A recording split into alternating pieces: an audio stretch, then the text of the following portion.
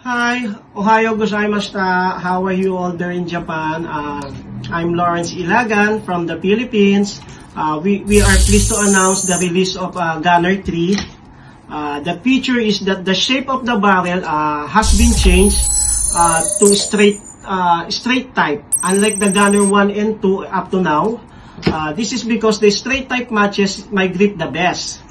Uh, the new Gunner 1 and 2 will be available in soft tip and steel tip model, which is 90% tungsten and 80% tungsten series at the same time.